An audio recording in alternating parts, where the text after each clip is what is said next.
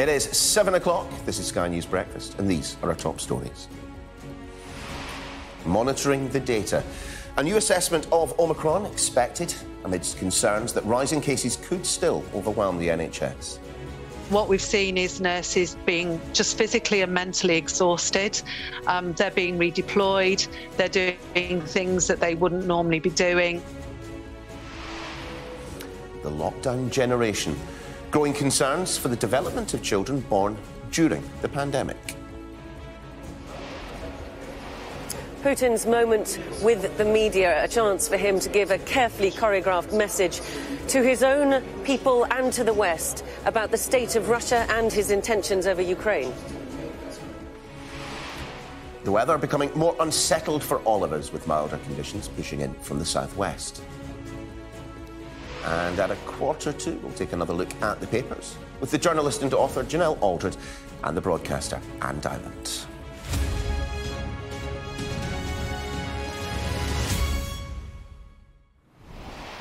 Morning, all. We are due to get some fresh data on the severity of the Omicron variant of COVID from the UK Health Security Agency later, after two studies suggested it may cause milder illness than the Delta variant. Scientists say the findings are good news, but warn a surge in cases could yet overwhelm the NHS. Well, yesterday saw a record day for COVID cases, with more than 100,000 reported as Wales and Northern Ireland announced further restrictions coming into effect after Christmas. Uh, for his part, Boris Johnson has yet to indicate if he will follow suit in England. Sky's Sadia Chowdhury has our first report. Record new cases in a day and a record number of vaccines administered. The race against COVID is neck and neck. So today you're going to get the Pfizer vaccine. Okay. Um, you get your booster, yeah? At this GP surgery in Streatham, a sign that the vaccine is gaining support. We've had a lot of people come forward for the first dose now, so I think some of those people that were relying on herd immunity or just hoping to wait it out have realised that COVID's not going anywhere anytime soon. The UK's Health Security Agency has confirmed another 13,581 new cases of the Omicron variant bringing the total number to over 74,000. It's enough to put holiday plans on notice. I am supposed to be going to visit my girlfriend in Romania in January, and that is looking like it might be in January. This year, I'm not even getting embroiled in Christmas. I'm not even getting hung up in the whole thing. Holiday plans up in the air, but some positive news is emerging about hospital stays. A major study from Scotland estimates a 56% reduction in risk of hospitalisation there with Omicron compared to Delta. Researchers in London looking at English data came up with a similar number. Those with Omicron 40 to 45% less likely to spend a night or more in hospital compared to Delta infections. Overall, people were 15 to 20% less likely to go to hospital at all with Omicron in England. But even if it's milder, if the number of cases is high enough, it could still be a problem for an NHS already under strain. So, what we've seen is nurses being just physically and mentally exhausted. Um, they're being redeployed. They're doing things that they wouldn't normally be doing. People are trying to cover the work of one, two, three, four colleagues um, that might be missing. Experts have welcomed the research, but urge caution, given how small the sample in the Scotland study is and how early in the Omicron outbreak we are. Sadia Chowdhury, Sky News. Well, let's uh, bring you the latest data on coronavirus. Uh, and as mentioned, 106,122 new cases of COVID 19 were reported in the latest 24 hour period. 140 more people have died, taking the total number of those who've lost their lives within 28 days of a positive test to 147,573. Uh, vaccines, well, they did hit a new high yesterday. More than 968,665 boosters and third jabs were given. When you add in first and second jabs, more than a million vaccines given in a single day. Almost 31 million people have now had a third jab or booster. COVID infections among primary school aged children are estimated to be three times higher than in the general population. The government backed React One study has found that around 4.5% of 5 to 11 year olds have the virus. compared to just 1.5% across the country. Uh, let's bring you a little bit more on the latest COVID data. The React One team from Imperial College London uh, now completing the latest round of their study looking at the prevalence of the virus across the country. Uh, we're joined now by Professor Paul Elliott, Director of the REACT programme and Chair in Epidemiology and Public Health Medicine at Imperial College London. Great to see you uh, this morning, Professor. Um, uh, it is, again, a fascinating piece of research. Let's, let's start with that which everyone has, ha has latched onto. How much more do we know about Omicron? Well, what we've seen in our data is um, that we've had, since the summer, really quite high prevalence, but but pretty steady with the R number around one.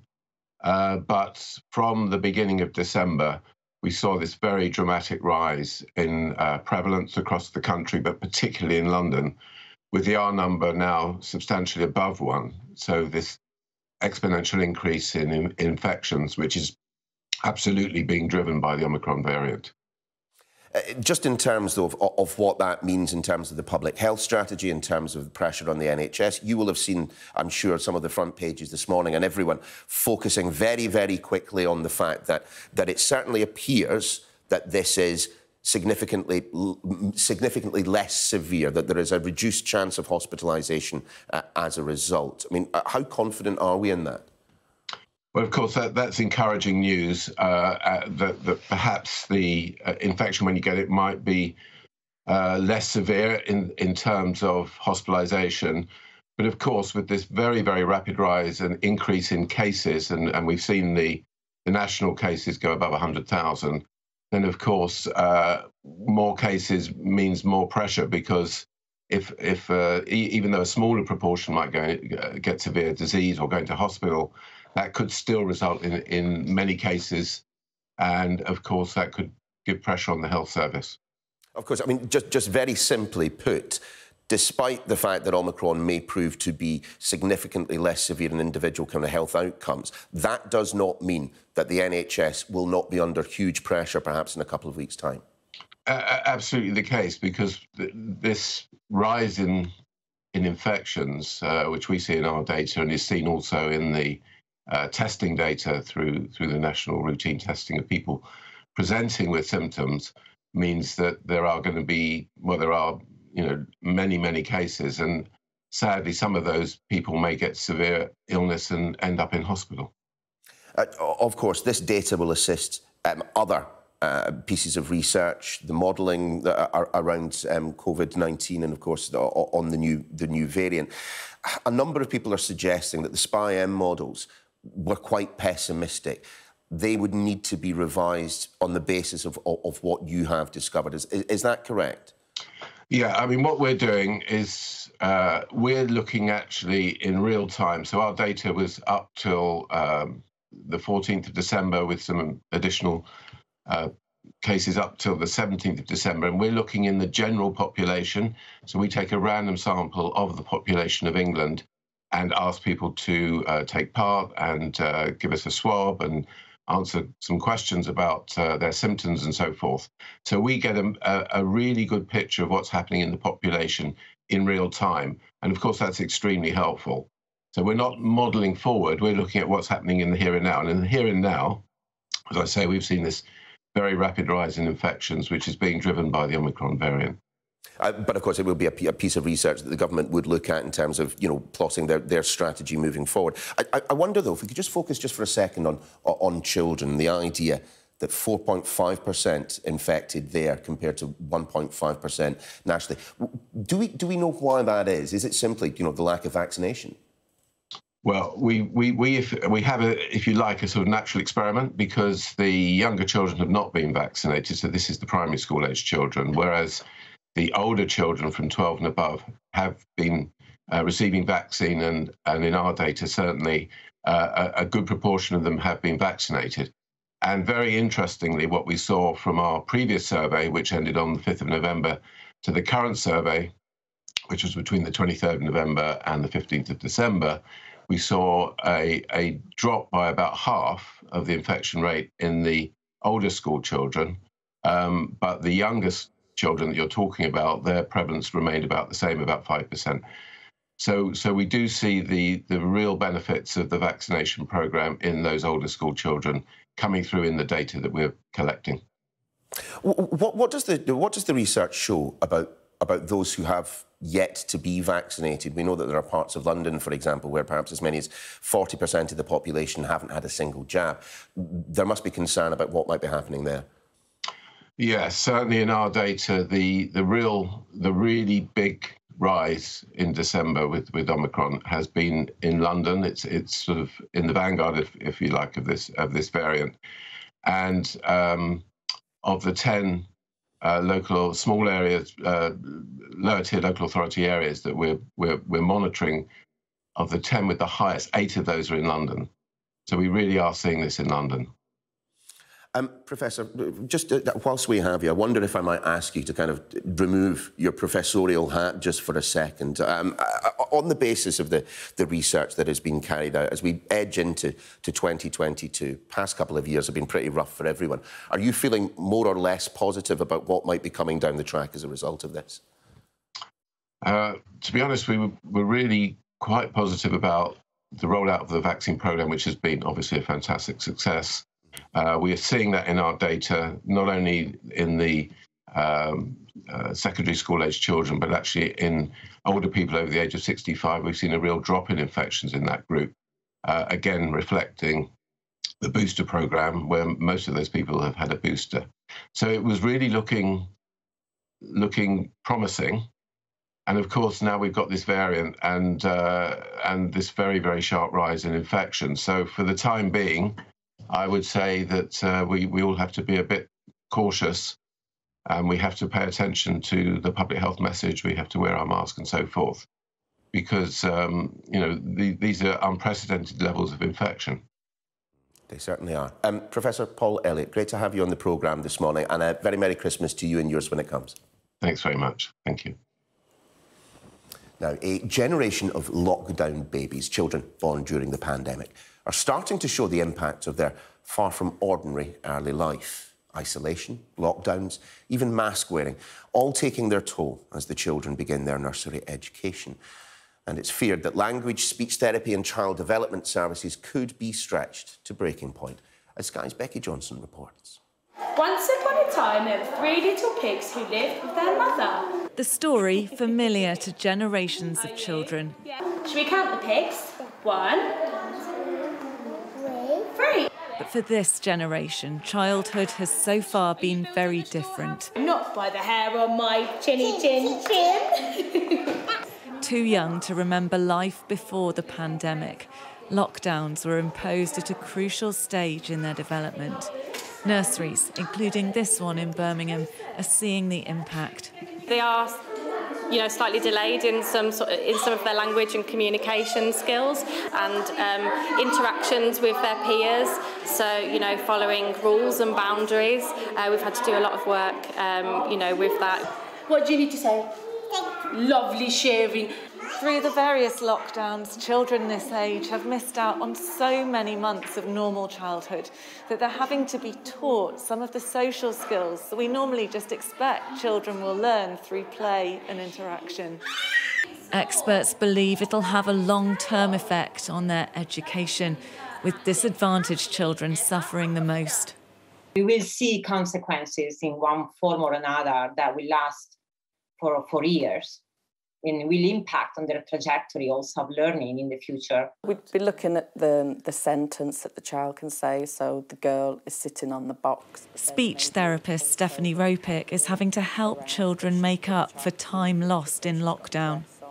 A lot of parents having to work from home and not being able to interact as much with their children during that time, lack of opportunities to play and mix with their peers in the inner city primary schools where she works, demand has soared. In Birmingham, in the schools I work in, probably seeing 80% of the children starting reception with not age appropriate language skills. And how does that compare to pre pandemic? Maybe about 40%. That's doubled. Yeah. And that also That's nearly every child. yeah in reception in the schools I work at it is most of the children. As evidence builds of the impact on young children, the full consequences may not be known for many years. Becky Johnson, Sky News, Birmingham. The Russian President Vladimir Putin will give his end of year news conference this morning, inviting selected, friendly journalists to put questions to him. All coming at a time, of course, of increased tension between Moscow and the West over what NATO believes could be an imminent Russian invasion of Ukraine. Our Moscow correspondent Diana Magnay uh, joins us now. Good to see you this morning, Diana. It is that most wonderful time of the year, isn't it, when we all sit to find out exactly how long Vladimir Putin is going to talk for. What's the sweepstake in the office saying this year? I say three and a half. My cameraman says four and a half. So I'm hoping that I win this time, but we have no money on it. Um, but you're right that this is a carefully choreographed event with journalists handpicked by the Kremlin this time round. And the fact that, for example, Novaya Gazeta, the independent newspaper whose editor just won the Nobel Peace Prize for defense of journalism, has not been accredited, tells you, I think, all you need to know about the state of the free media in Russia. Uh, but of course, for the West, it will be most significant what President Putin has to say about Ukraine. He made some pretty ominous comments on Tuesday, saying that if NATO does not stop its aggressive stance, and of course, NATO uh, says that it is purely a defensive uh, organization, if NATO does not stop its aggressive stance, then Russia will be forced to use military technical means to combat it. And what we believe he means by that, what the Foreign Ministry has uh, suggested he means by that, is the redeployment in Europe on, on Russian territory of intermediate range missiles, which could, of course, reach European capitals, which were banned under the INF Treaty, but now that that treaty has been dissolved, uh, may start being replaced in Europe.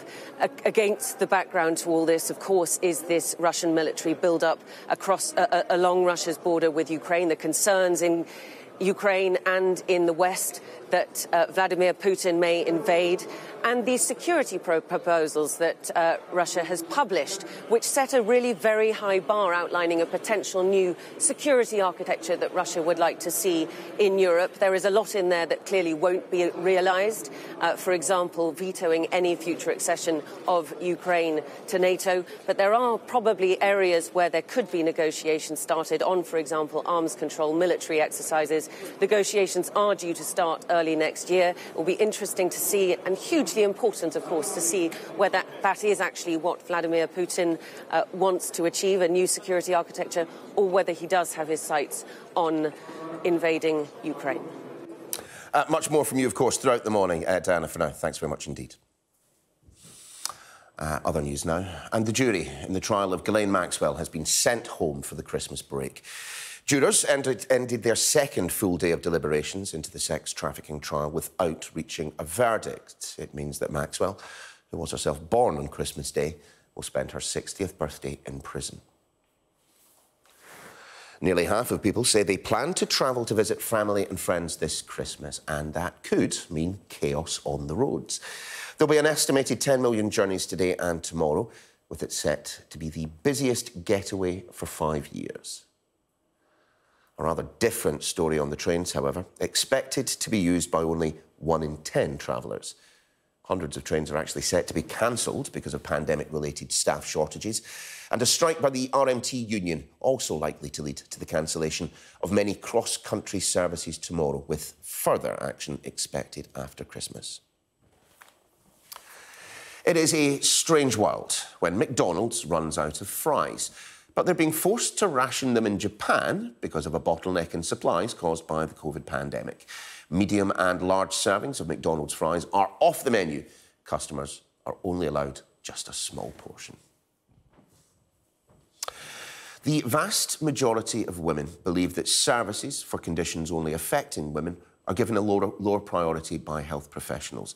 Well, today, the government sets out its plans for tackling gender inequality. Uh, joining us now, Sky's Milena Veselinovic, who's in the newsroom. Morning again, Milena. Take us through this. Where's this research from?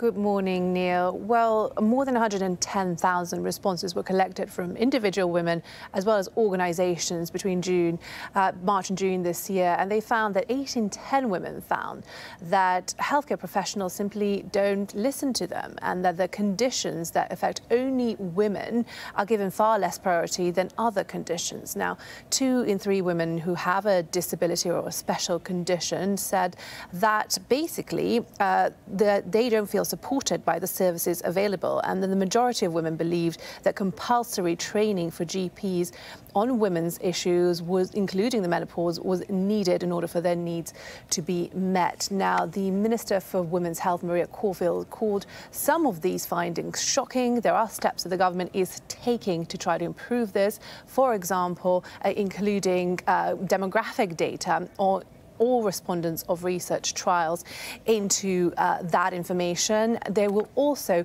be banning hymenoplasty. Now, that is a, procedure to restore a woman's hymen. Uh, it is linked to virginity testing, and experts say that it is uh, perpetuating very outdated views on women's sexuality. And furthermore, the government has already pledged to outlaw virginity tests. Milena, thank you. Uh, time to see how the weather is looking as we nudge towards Christmas.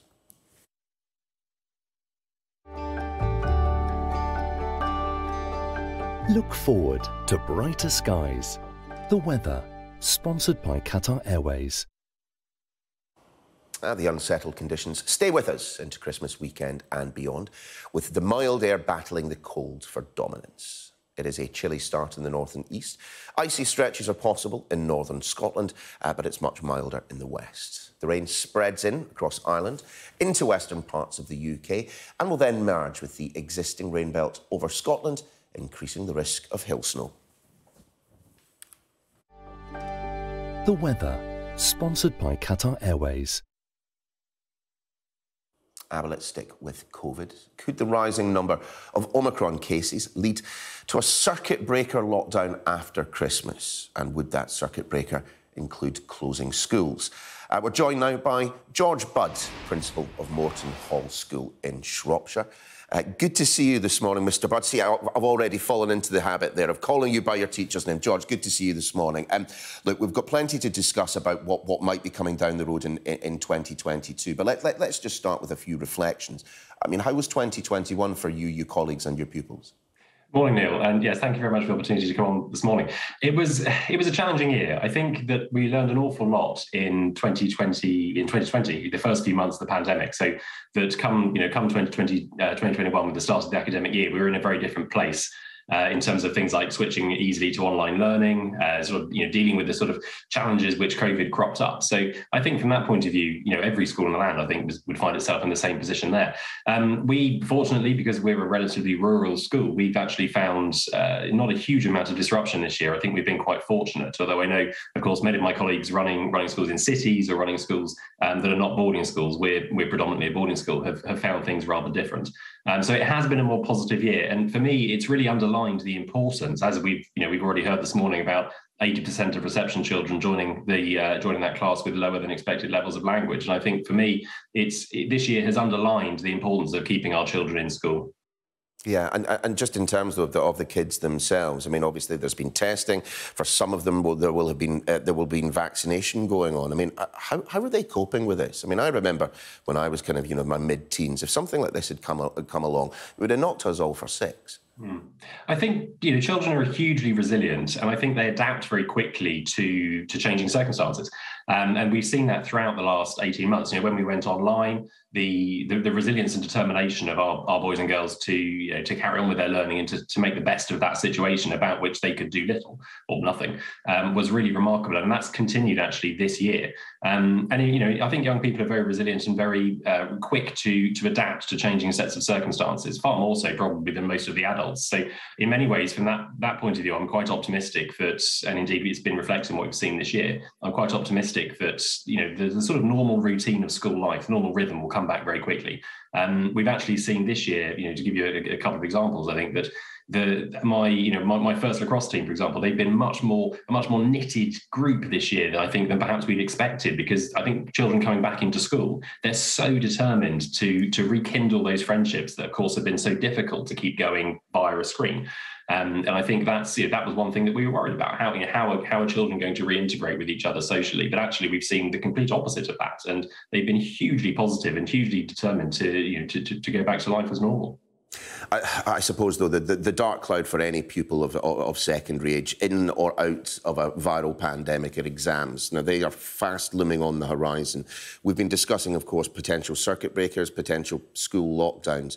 I mean, from your perspective, could the kids cope with, with a, an extended period away from school again, back onto the remote learning? I think could they cope? Yes. Is it the right thing for them? No. Uh, you know, children need to be in school for so many reasons. They can learn academically relatively effectively at home. Uh, you know, we can we we we're in the position now where the government is providing a lot of laptops where schools are geared up for it, and so I think the you know, the academic delivery uh, is, is perhaps far easier than it was. Although, of course, there is still huge disparity between um, people of you know people who, who, are more deprived, people who lack access to online uh, education at home, people whose parents are perhaps less available to help them at home. But you know, the bottom line is, could could the children cope? Yes. Is it the best thing for them? Absolutely not. And I think um, you know, uh, we, we heard the other day that 90% of people in hospital who are receiving the most care in hospital are unvaccinated. And so I would implore all of the adults who are able to get vaccinated to please go and do so because you know keep protecting the NHS is often given as the reason why we may have another circuit breaker lockdown. And you know learning that 90% of people who are receiving the most care in hospital are in fact unvaccinated that you know, people could do something about that. And from a from the point of view as, as, as a head teacher as a teacher I would implore them to do so because that will keep their children in school where they learn the best uh, well, George, wishing you, your colleagues, your pupils all the very best for 2022. And uh, look, have a lovely Christmas when it comes. Thanks for joining us. Thanks, Niall. Take care. Bye bye. Uh, time for us to have a quick look at the morning sport.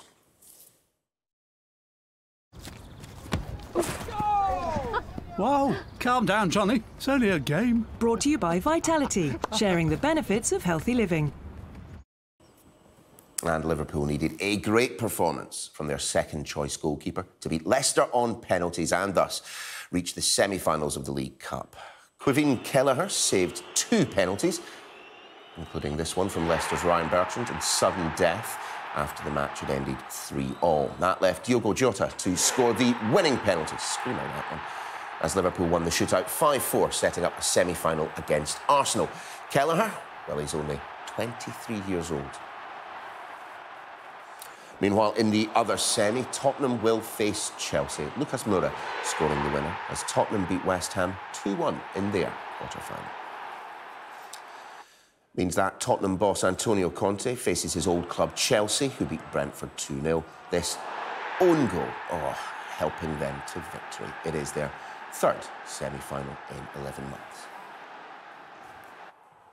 And an absolute shocker from Celtic in the Scottish Premiership. Second placed Celts drawing nil-nil at St Mirren, despite having more than 30 shots on goal. The top division will be taking an early winter break, which will then start after the Boxing Day games. Handball, handball, handball, ref, handball, ref. Coming up next on Breakfast, I'll be speaking to Dame Esther Rantzen as an unprecedented number of people face loneliness this Christmas.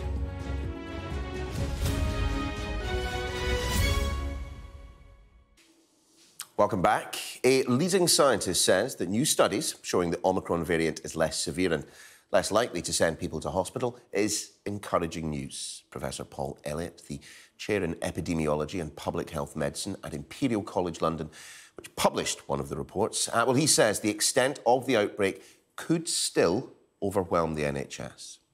This rise in in infections, uh, which we see in our data and is seen also in the uh, testing data through through the national routine testing of people presenting with symptoms, means that there are going to be well, there are you know many many cases, and sadly, some of those people may get severe illness and end up in hospital.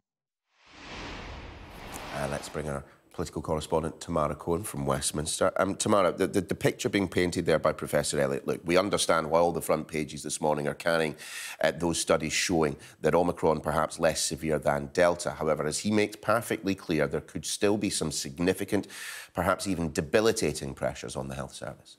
That's right. There is some tentative good news from this Imperial study and a separate study in Scotland, which both found that your risk of needing to go to hospital and stay in hospital if you have Omicron is much reduced compared to Delta. So that is great news. However, it is qualified by the fact that Omicron is spreading incredibly fast. So that, that might wipe out all the gains from it being less severe because so many people will get Omicron that you might still have very high numbers of people with severe disease having to go to hospital and that threatening to overwhelm the NHS. So, what this means in terms of possible restrictions in England, which is the only part of the UK which is where no restrictions after Christmas have been announced. The Scottish, Welsh, and Northern Irish First Ministers have all announced restrictions from Boxing Day or the day after. But Boris Johnson is holding out um, significantly because members of his cabinet and members of uh, his party are very vocally against restrictions, and many many of them will seize on this new data to say, look, perhaps we don't need them. Now, I'm told today by senior sources in government that we do not expect that to change. Boris Johnson is not going to be announcing any more restrictions for after Christmas this week. We will not hear from him about that this week. But of course, uh, they will be assessing very carefully all the hospitalisation data that's coming in to see how fast those hospitalisations are rising. Tamara, thank you. Now, for many of us, the festive season is all about getting together with friends and family and sharing time together. But it's thought that almost 1 million older people will spend Christmas alone, with a further 5 million saying the best present they could get this year would be a phone call from a loved one. Dame Esther Rantzen, who's founded the Silver Line to offer support to those who need it, joins us on the programme. Esther, it's lovely to see you on the programme this morning. I do hope you're very, very well, but it is a sad topic that you and I will once again reflect on. It can be a very, very lonely time of year for some people. It can, but it is amazing and it is wonderful news how much difference a simple bit of technology that looks a bit like this can make. To that Christmas day, I'll be talking to, um, well, probably about 10 people on Christmas Day who've asked for a phone call. And I have uh, done this for a, um, a number of previous Christmases, and I can tell you that the difference in people's voices at the end of a conversation that if you can laugh together about some excuse me some memory of christmases past it can make a huge difference to the whole day. So i would say if you've got half an hour or so, just pick up the phone and ring someone in your family, someone whom maybe you've known in, in a past life, an old school friend, an old neighbor, and say that you've been thinking of them and you want to wish them a very good 2022. Um, of course, Esther, you have perhaps done more work than, than most people in this area with, with the Silver Line. You've offered a, reassuring words to, to any number of people of a certain age at this time of year. But I, what's been fascinating to me this morning is I didn't really know the backstory uh, to the Silver Line. Can you just tell our viewers a little bit about it? Well, when I wrote about um, feelings of loneliness that I was experiencing, I was inundated with letters, and I got a file of them here because um, I obviously, obviously I've kept them. But there's one in particular that inspired me from a gentleman called Bob Lowe. He said, I'm 90. My wife died three months ago of Alzheimer's disease after 65 years of marriage, but more to the point, 72 years since we first kissed. And she waited throughout the war for me and I for her. Loneliness, tell me about it. And he included a poem.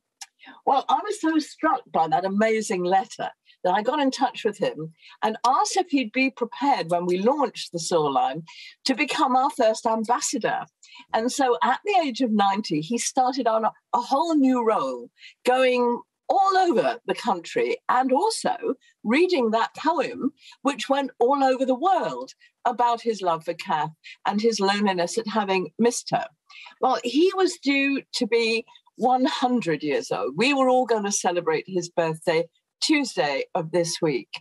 Alas, he died a couple of weeks ago. Oh. So we celebrated his birthday and had a memorial service this Tuesday. And it was a remarkable event because everybody talked about how much he'd done to counteract the loneliness of older people through his work. And I, I would just like to say two things, really, Niall. One is, I think we should all remember people who've lost someone close to them this Christmas because Christmas time is particularly hard if, like the Queen, you're used to spending it with the closest person in your life and you've lost them. And I remember that the first Christmas after I lost my husband. So I want to say that we're all thinking of people who've lost someone precious to them. And we know it's going to be really tough this Christmas.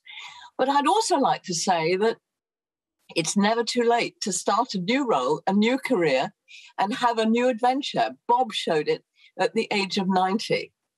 And my happiness, Niall, is that I was able to see him before he died. And he did say to me, he said, I would have liked to make a 100. And I said, Bob, according to the Chinese calendar, you have made a 100 because they start with conception. And I think that cheered him up a bit. I think I, am sure it did. What what what a legacy um, Bob leaves, and indeed what a testament and a tribute uh, to the love he had for Kath. Um, Esther, we, ha we have to leave it there, but I wonder, just as we say our goodbyes, I saw you hold up the memorial. The, the, the, can we have a quick look at the photo of Bob and Kath that's on the front there? Yes. Absolutely stunning. Dame Esther Rantzen, always an absolute pleasure to talk to you. You look after yourself and have a very, very lovely Christmas. Lots of love from all of us here. And the same to you, Niall, and the same to your whole team. And if you know any you or anyone you know is indeed struggling over the festive season and indeed throughout the year, uh, the number below is for Silver Line 0800 470 80 90. That works to support those who are experiencing loneliness. That number again 0800 470 80 90. Now, it is set to be the busiest day on the roads as people get away for the holidays with just one in 10 choosing to use public transport. Uh, joining us now, the president of the AA, Edmund King. Edmund, great to see you. I do hope you are well. Um, can, can, we just start with why we think the roads are going to be so busy this year? Why are, are so many people seemingly abandoning public transport in favour of getting constantly asked for hours on end? Are we there yet? Yes, good morning, Niall. We did a survey of 15,000 people about three weeks ago. And from that survey, we asked them would they be traveling today, tomorrow, over the Christmas period. And we found about the equivalent of about 18 million drivers would be traveling today and tomorrow to get away and I think a couple of reasons. One is because obviously there were more restrictions in place last year, so many people didn't spend Christmas with their families. But I do think the other reason is people are more cautious of public transport um, with, with the virus out there. And therefore, they feel a bit safer in, in the bubble of their own car. Now, obviously, since we did that survey about three weeks ago, there have been more concerns raised about the virus. So, uh, so I think we, we would slightly downgrade those figures. But even so, I think we'll see the roads getting busier today and then uh, tomorrow, particularly around lunchtime when, when people rush to get to see family and friends. Yeah, and I suppose, of course, you know, travelling at this time of year, you know, you always have to be mindful of the weather. You know, I've been reading it out all morning, and it doesn't look like it's going to be the worst. But you know, people will be taking roads that they're unfamiliar with, routes that they're unfamiliar with. I mean, what's the best advice before packing the bags into the back of the car and, and stuffing the kids in there as well?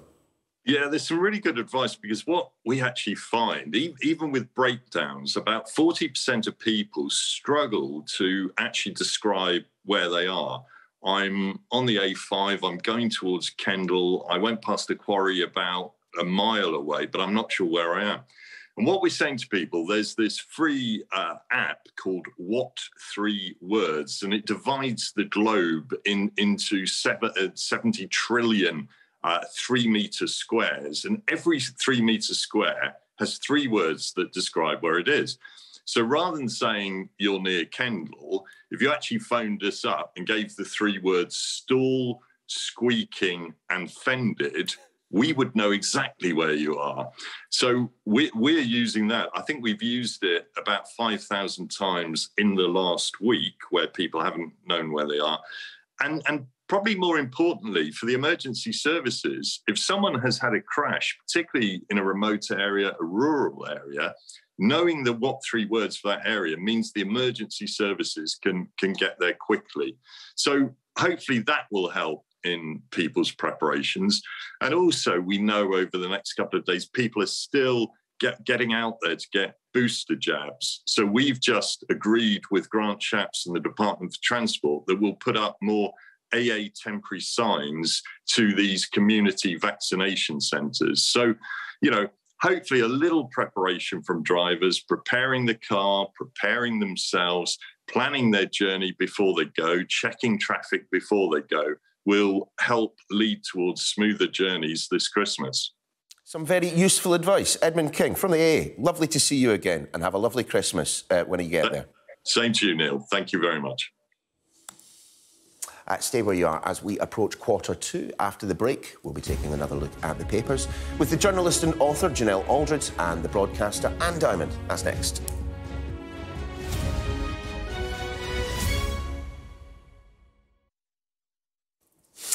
Uh, time to have a look at the papers once again. Uh, joining us to give us their selections, the journalist and author Janelle Aldred and the broadcaster Anne Diamond. Lovely to see you both again. Um, Janelle, to you first this time, because obviously we like to switch it up and about. And it's the front page of the Mirror. And this is all to do with those young people who might not have had a jab just yet. No, yeah. And whilst we talked, you know, in the last hour about Omicron being milder for unvaccinated people, people who are for vaccinated people, people who aren't vaccinated, while some of them are facing higher risk. And this says 80% of patients at the Royal Liverpool Hospital are unvaccinated. So it's healthy people 30s, early 40s, you know, four out of five of their patients haven't had the vaccine.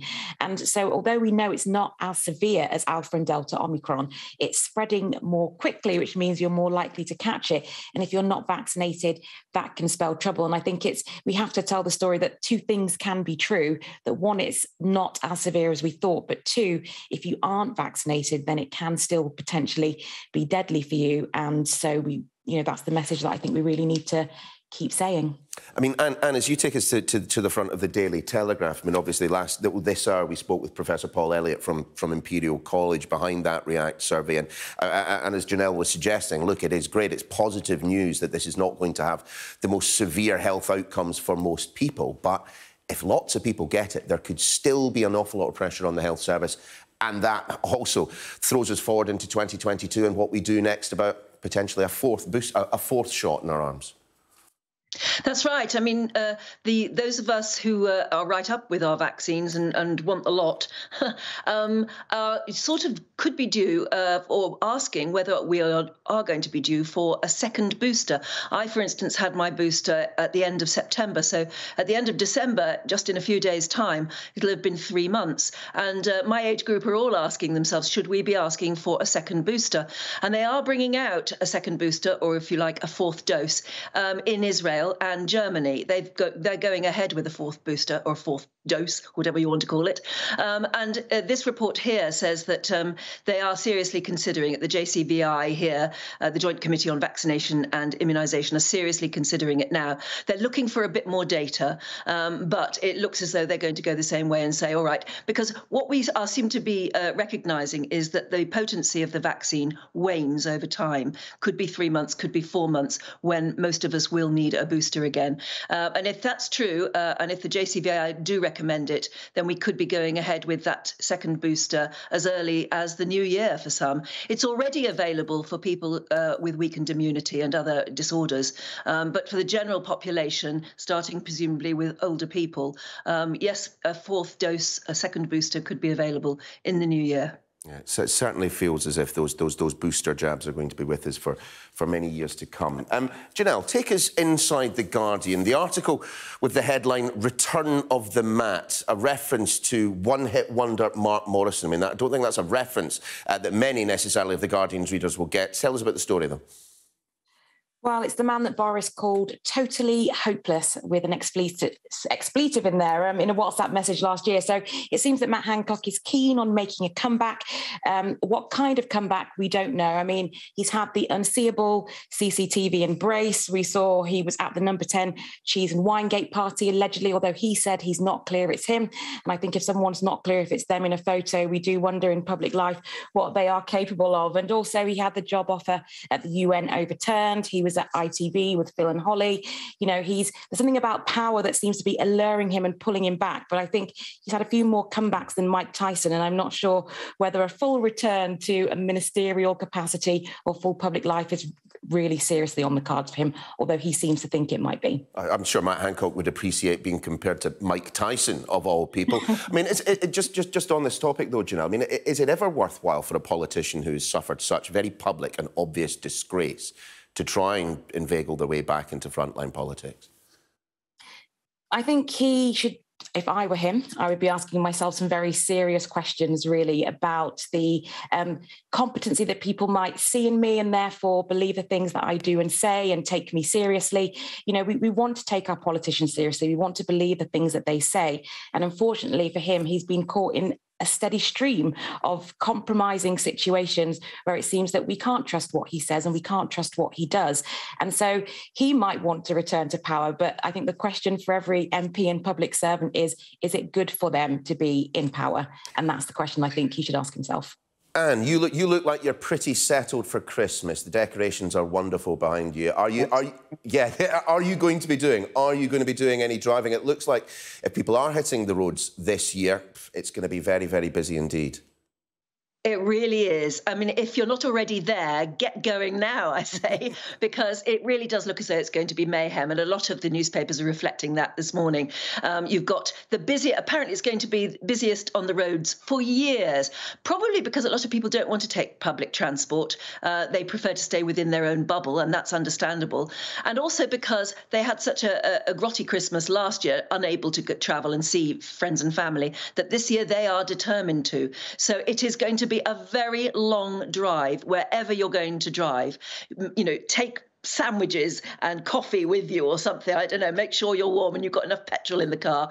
Um, because the RAC says 5.3 million people are going to get behind the wheel on Christmas Eve. They're already driving today. 18 million cars are going to be on the roads over the Christmas weekend. And meanwhile, I mean, if you're thinking of flying, and you are, aren't you? Yeah. Um, Heathrow Airport's going to be pretty awful because it is actually going to be cut off from tube and train links over the weekend because of rail works. Meanwhile, you've also got industrial action on the trains that are running or are not running now.